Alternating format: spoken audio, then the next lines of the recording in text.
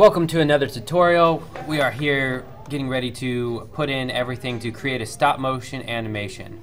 So we have here um, all our photos from the stop motion. Uh, we've taken our pictures for all our screenshots. I've uh, got just a quick little boring set here, Lego character running across the rope, falling, and then getting back up and taking off. Alright, so first need to open up After Effects, which I've already done so. And for this, I'm going to go ahead and just right off the bat create a new composition.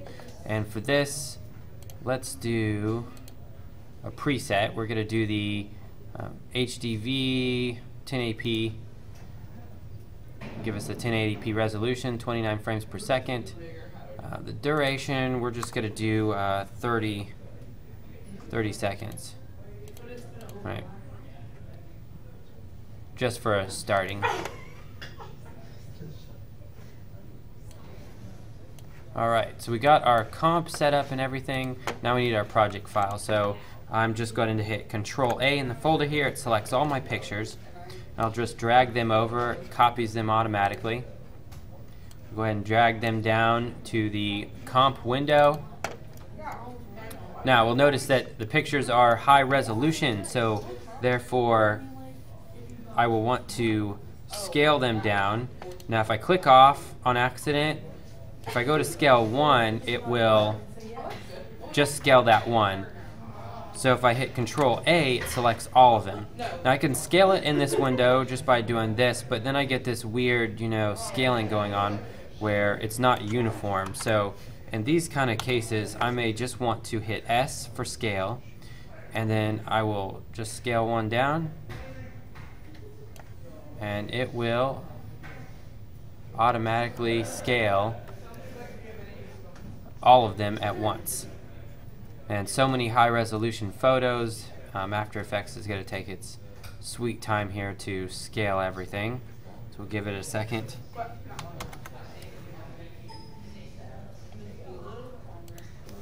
Alright, at this point I would go ahead and save your project as we go along. You'll want to save continually in case uh, something happens or it crashes. Uh, your progress is saved. So once you save it to your desktop, just you can just go up to File, Save, and select your desktop, name the file whatever you'd like, uh, stop motion in this case, and then from now on out we can just hit Control S and it will automatically save. Alright, if I middle mouse click, I can drag this over so I can see my comp, and I've got everything centered here. Uh, now in this case, um, I've already Control A selected all my layers here, and they're already shrunk down. In most cases, though, when you drag your pictures, they're going to be like the full comp length. So we can just click over here and drag them over to resize them. And be careful, because if you move it over like this so, you may think you're resizing, but you're just pushing it over. So you can see how you push it over. When you resize it, this area right here will always be blank. When you move it over, then you know that it's going over in the beginning time frame. So uh, there is also a shortcut key. If we do Alt and then front bracket and then Alt right bracket, it will shrink everything down to one frame wherever your time slider is. So let's bring this back to zero.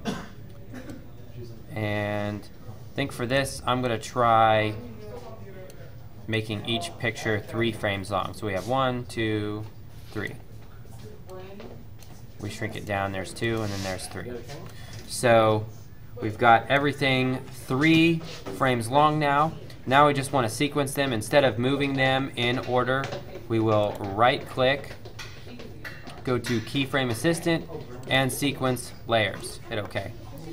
Now, in some cases, it may put them in a different order Always make sure your time slider is at the beginning. If it does it in the opposite order, then what you would want to do is scroll all the way to the bottom, select the bottom first, then shift select the top, right click, keyframe assistant, sequence layers, voila. And in this case, mine reversed it, So I'm just going to Control Z to undo that and get back to where I was. Well, there we go. I can see my character moving along. I can hit spacebar to render it so I can see uh, how far I've gotten with the project. So in a lot of cases, you may run out of time. For instance, let's say your composition was this short, and you're like, ah, oh, my pictures go off the screen. What do I do? For this, you would go up to Composition, Composition Settings, and then change your duration.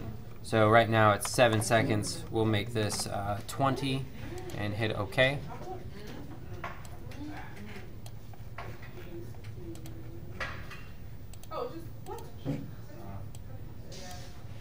Got one particular frame. It's looking a little weird here.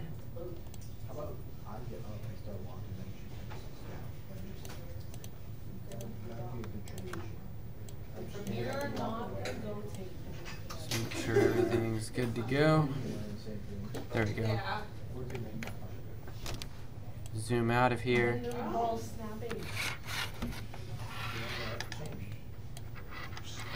And voila, we've got all our pictures in order. Now we could also resize our area if we wanted or scale the pictures or we could just leave these uh, black bars on there for now, it's fine. In most cases you just want to fill up your frame. You do always want to check and make sure your composition is lined up the way you like it. So now what we may want to do is put in a title. Do you want to go to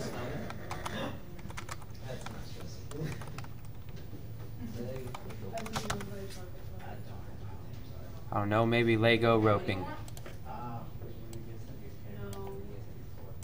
Uh, in most cases, I'd probably do this in stop motion too instead of in After Effects, but we can just quickly do that. I'm going to hit Control A to select all, Control, click the Lego roping, and let's zoom in here. And we're going to say we're going to make our title like maybe four seconds to five seconds long.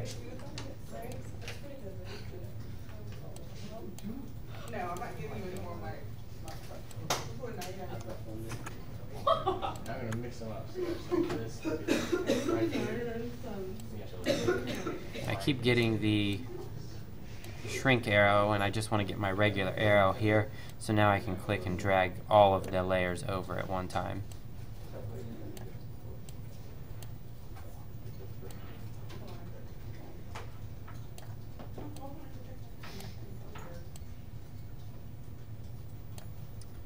And if we're not using these things right here, we can actually right click and say hide this, uh, being that we don't need those right now. And that'll give us more room here to work in the timeline.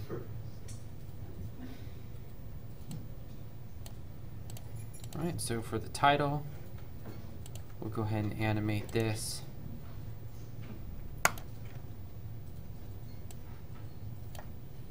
Do this right here at the five second mark, I'm going to have it scale in a little bit. Let's take their anchor point. We'll do the pan behind tool or also in the newer version it actually mentions here that it is the anchor point and we'll just move that to the center so now it will scale in from the center and then we can turn on the opacity here going to have it fade out.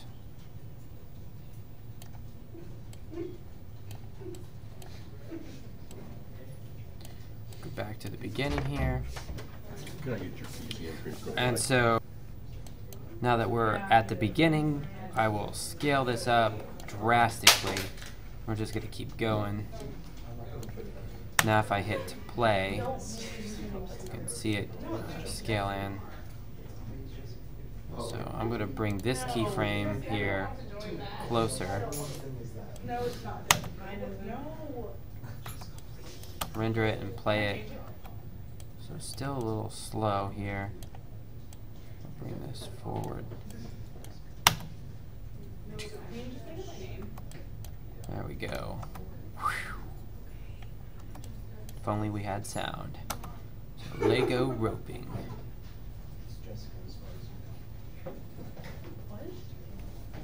We'll add another text layer here. Click right here.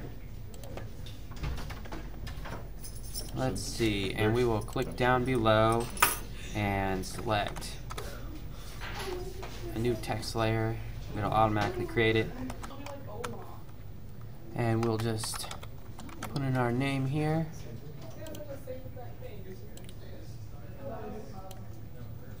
Move this over.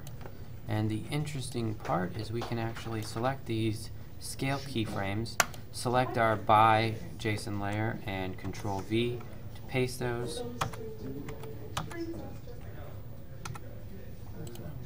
Probably have to have scale selected. Try that again. Bam, there we go.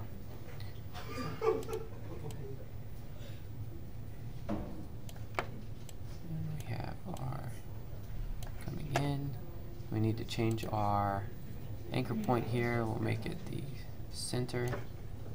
And then now we have our layer centered here. Alright, so we'll bring these keyframes closer together. And this is not the scale that we want, so we'll scale that back down.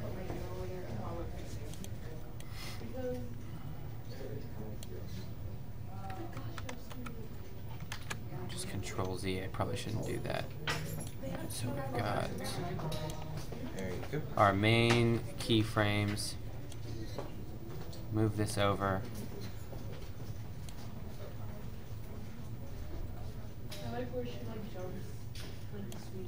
I'm going to make this one a little bit quicker. So we'll test it out. I'm going to select both of these keyframes here by shift selecting and then I'm going to resize them. Make them more about the approximate size. Then I can relink them scale them back down. Voila. So we have now this one's freaking out a little bit, so we'll delete that keyframe. This one here, we will just select it, hit Control C to copy, Control V to paste. It'll paste it where our time slider is, and we want to offset it a little bit, so we're going to scale it just a little bit smaller. Now we get this it fading back into time.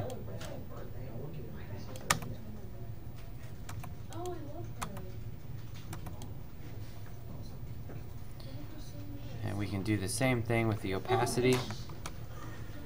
We just select the opacity keyframes, control C to copy, select opacity in our new text layer, and hit control V, and it pastes them right there, and then we have them fading out together. And we could, if we wanted, I guess, maybe offset it just slightly. So it's like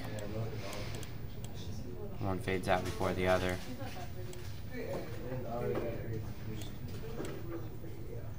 And then our animation starts. Now if I had more people involved or credits, I would either put those in after the title, or I could go here to the very end and add them in. Um, it would also be more effective if I had uh, my credits as stop motion as well. So right here, To add in a new solid layer and just make it black. And it's going to put it at the top, so I'm going to have to move it all the way down here to the bottom. Drag to the bottom. And I'm just going to drag this one all the way over. I'll give it a few more seconds. I'm thinking